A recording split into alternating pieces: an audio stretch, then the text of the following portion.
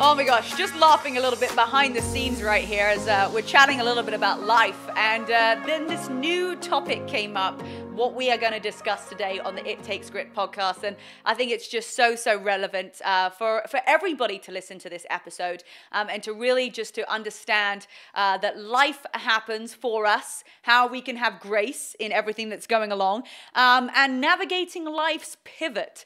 Uh, so that's what we're going to be tackling today. But welcome everybody to the It Takes Grit podcast.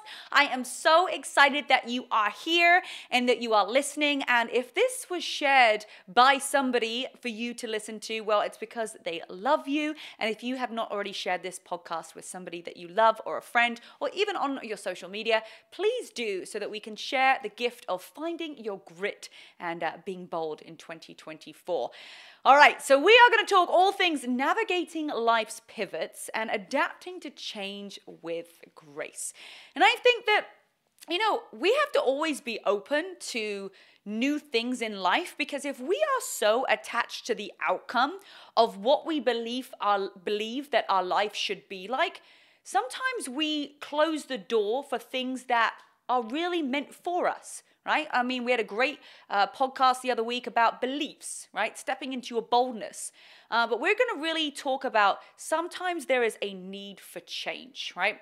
And so you know, in my life, you know, look at the last like 15 years, there's been so much change. Uh, I was actually just in Slovenia on stage sharing my story, and I was sharing my story again in, in Daytona Beach, uh, both in March of this year. And when I was looking back at my life and all of the crazy pivots that I've made, I was like, none of this makes any sense. And I'll, I'll dive into a little bit about my story. Um, for those of you who don't know, I think there's quite a few segments of what I've been up to for the last 20 years uh, that may, may surprise you. And the amount of pivots that I've got to take in life and, you know, being able to adapt with those with, with grace and, and not beating myself up for maybe going down a path that I thought was going to be my career and then deciding actually that's not what I want to do. And so what we're really going to be focusing on is is that is that understanding that pivoting is is good right? And that being that open to change. So i remember you know i got i got started you know in england being on a reality tv show when i was 18 years old. I had no idea what it was about to be honest. I just turned up for what i thought was a job interview and there was a line of 4000 people. And i was like what is this? But i'd already traveled from eastbourne to london which is an hour and a half away. And i thought you know what? I'm here. I'm just gonna i'm just gonna join. And i just done my a levels uh, I went to a private school for a couple of years that, I mean, I loved the school, uh, but I got severely bullied there. It was not a great experience. I went through an eating disorder. Uh, I didn't want to go to university. Uh, I wanted to teach myself a degree online. I never had the desire, you know, to go to university. Um, and I, I didn't want to have a gap year and travel. I, I just wanted to honestly get to work. And so I, I auditioned to be on this reality TV show. And I was one of the final 12, and I was on this show, and it was about people who had potential to be a television producer. And I managed to get to the final week and I didn't win, but I had the most unbelievable experience. You know, going to go to the National TV Awards in a two and a half thousand dollar dress, uh, you know, just being able to be, you know, inside of the TV world uh, and just and, and having ideas and being creative. And then you know, I do a complete 180 switch. I wanted to live in London, so I decided that, uh, you know, I needed to, to earn enough income to live in London. And my boyfriend at the time, uh, he worked for an investment bank. And I was like, you know what? Banking. That's great. They earn great money. That's going to get me to London, even though I've only got PE, sports, and a reality TV show on my resume, or CV as we call it in the UK. Uh, no problem. I'm going to now go and, and, and, and work in a bank. And so the moral of that story is, you know, I had no real background in TV producing, and I certainly didn't have any background in being a banker.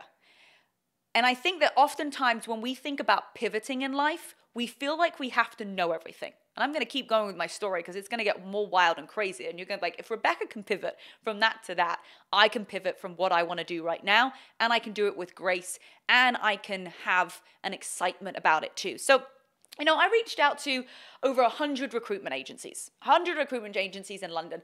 And, you know, a lot of them were like, okay, you want to you want to work in banking? Um, I don't really think that that makes sense because of what you've already done in your life. Um, but I managed to get three interviews. And I think what's really important is how many people did I reach out to? reached out to 100 recruitment agencies, not job interviews, 100. And I managed to get uh, an interview at HSBC, Bloomberg, and Citigroup.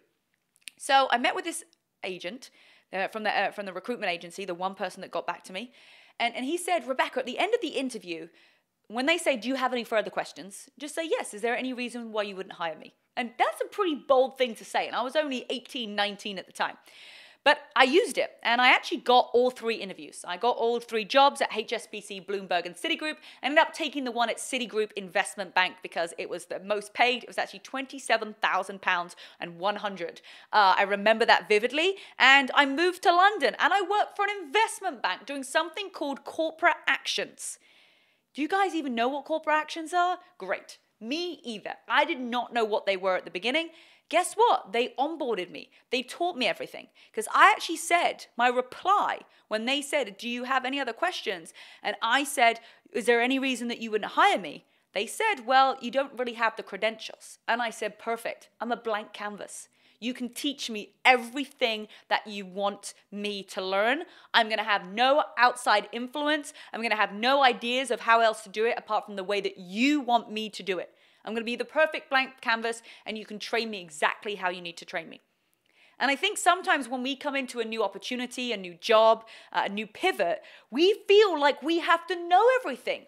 And actually, it's much better that we don't know everything because the person that is mentoring you or onboarding you is going to be able to teach you exactly how they did it. And you're not going to have any other outside theories coming in which slow you down. So when I first got started in the bank, I didn't know anything. I didn't know anything about banking. I didn't even like know what bank I was with, right? But I did it anyway. And I was lasted there for about 9 months. And it was okay. It really wasn't my passion, my excitement.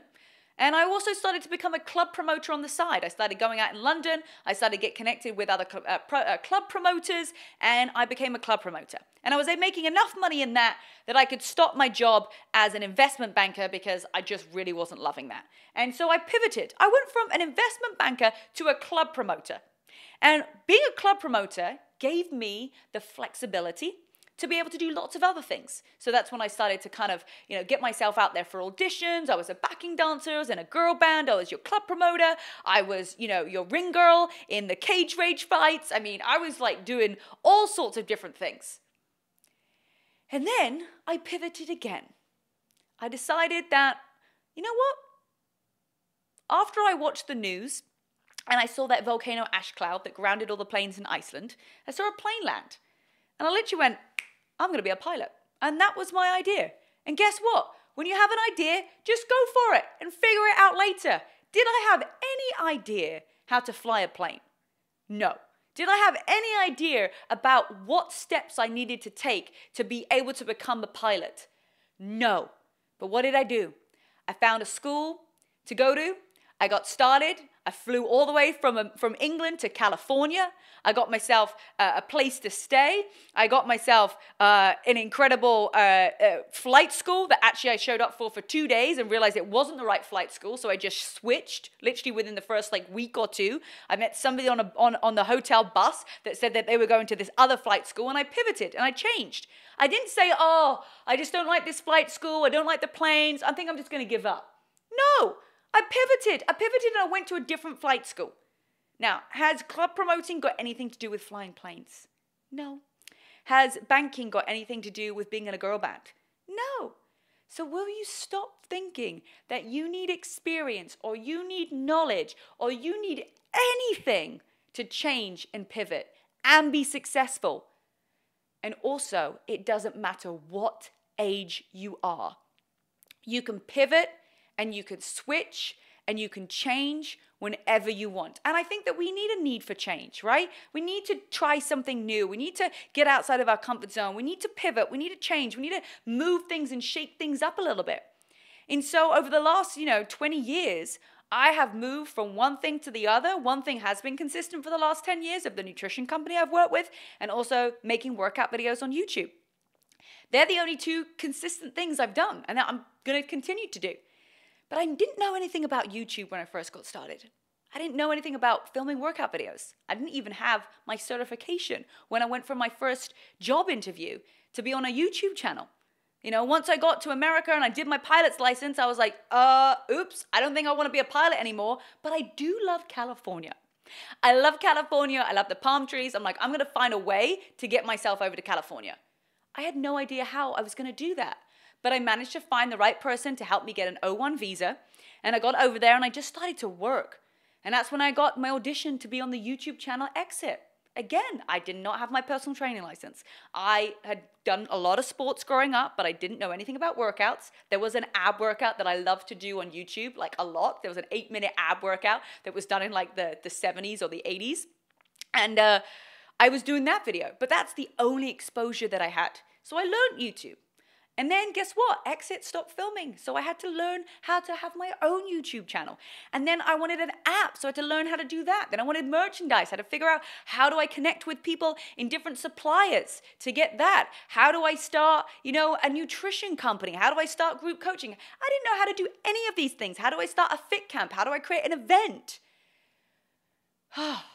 just take a moment right now and just realize that I had no knowledge or background or understanding about any of the things that I got started.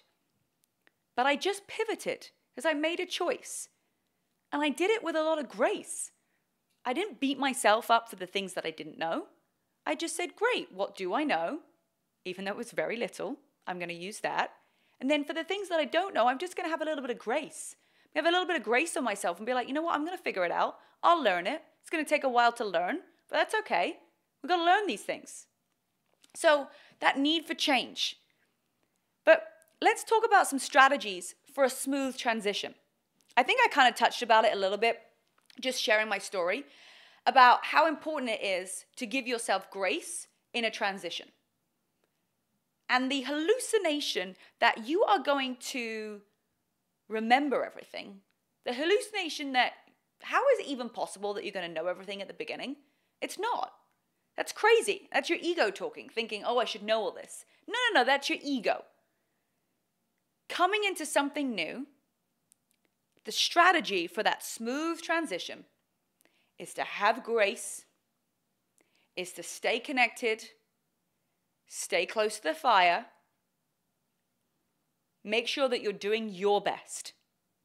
That's it. That's all you've got to focus on.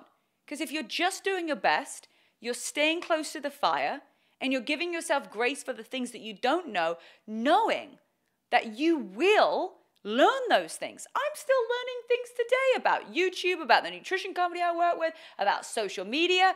Why? Because there's always something new. There's always something that's changing. There's always a pivot that's happening. There's always something that's going. There's always something that's being added. There's always some new tool to use. There's some new strategy. There's also some new method or way of doing something. I'm constantly learning. So to think that when you start something new that you're going to know everything, please get yourself off that pedestal thinking that you should know everything and that you should have everything down because that's absolutely crazy talk.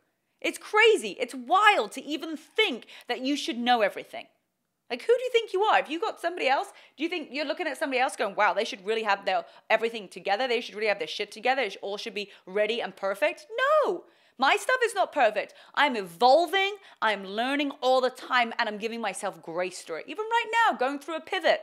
But I'm giving myself grace. I'm doing the best that I can. Like yesterday, there was probably still five hours of work that I could have done, but it was like 11 o'clock at night. I'm like, I have to go to sleep, right? I'm going to give my great, myself grace that I haven't got back to everybody straight away that I need to. I haven't implemented everything that I need to. But guess what? I'm working and I'm doing my best and I'm pivoting in the areas that I want to. So you're never going to be able to do everything all at once, right? Give yourself grace for that. And throughout that, to be able to adapt to pivots with change and grace, it's so important that we maintain our emotional and mental well being. Because when you are pivoting and you are learning something new, it's so key to really focus on your workouts, hydration, nutrition, meditation, personal development, right? Because otherwise, you get so burned out and exhausted. Like, I remember when I was doing my pilot's license and I flew back to the UK and I was at ground school for six months. And I look back at those times and I worked out right? But I definitely didn't know about nutrition back then. So I was drinking a lot of Red Bull. I know, crazy, right? I mean, I think we all used to before we knew what omega T was. But we all were drinking Red Bull. And I know that if I look back there, my mental well being would have been better if I had just looked after myself a little more, if I'd been introduced to personal development, and I wasn't back then. So I think that when we are pivoting and we're changing and we're doing something new, your mental and emotional well being is so key. It's so vital for our success in that pivot because if you feel exhausted because you haven't got your exercise in, or maybe you're resentful because you haven't got your exercise in, and you're exhausted because you're not having the right nutrition, or you haven't had enough sleep, is your confidence up or down about the new thing that you're starting? It's down. Because what happens with our energy? When our energy is down, do we have less confidence or more? Less. And our energy is typically down, not because we are working so much. You can work a lot, but make sure that you're adding in great nutrition, you're adding in great sleep, you're adding in great workouts, meditation, rest, getting outside, fresh air. That's what's going to reset you. You know, even late last night, it's, you know, nine o'clock at night, and it's like, okay, well, we're kind of kind of unwinding to bed, but like, let's just jump in the jacuzzi and do an ice bath right? That was just a reset. Maybe it's for you going out for a little walk or what, whatever that's, having a cold shower, having a bath, right? Doing something that's going to get, fill your cup back up before you just hit the pillow. Because a lot of times what we do is we're like, oh my gosh, we're so exhausted, we're so tired, I can't wait to just get to bed. But if you just took a couple of rests throughout the day to reset, rest, recharge, and refuel, like Luke says, you're going to feel so much better. And you're going to sleep better. And then the next day, you're not going to feel as, you're not going to feel like you're trying to catch up, right? So as you're going through that transition and you want to make it smooth and you want to have grace, you've got to work out, you've got to exercise, you've got to feed your body great nutrition. And that's what's going to help your mental and emotional well being. Okay? And so just a couple of tools to, to execute those, right? To make sure that as we are navigating life's pivots, and life's pivots, it could be too that something happens in a relationship, a relationship changes, or you get thrown a curveball in life, right? Even if something traumatic or challenging has happened for you, right? It's always happening for us, not to us. How can you still adapt to that situation, challenge with grace. Because if you don't, if you get emotional, or if you want to fight back, or if you get angry, or if you get hateful, or you get jealous, as those lives give you the pivot, what's going to happen is you, it's going to eat you up inside. And you're not going to be able to go through those life pivots with grace, right? When something happens for you, are you somebody that reacts? Are you somebody that gets mad, that gets angry? Or are you someone that's like, okay, this, this is a life curveball that happened to me, but I'm going to make sure that I adapt with grace. I'm not going to allow somebody else's negative behavior or, you know, somebody breaking up with me or wherever it might be change my grace that I'm going to have through this period. Because why? It's going to take your energy. And we know that, you know, if you're ever trying to destroy somebody, it's not you that, it's not them that they're going to destroy. You're going to destroy yourself, right? It always happens. The more you try to tear other people down, you're going to end up tearing yourself down. And the only person that you're going to have to blame is you. So when we're navigating life's pivots, whether it's a job or whether it's a relationship or whether it's a curveball that gets thrown to us, remember that there always has to be that way that we can adapt to change with grace. So, how, how do you do that? How do you do that? How do you not react? Well, you first of all just take a couple of deep breaths. When someone does something for you, to you, or something happens, or whatever it is, just, just be still. Be still with yourself. Don't react. Just take a couple of deep breaths. And know that there's always a bigger vision and picture for you. And this is just your life pivoting for change.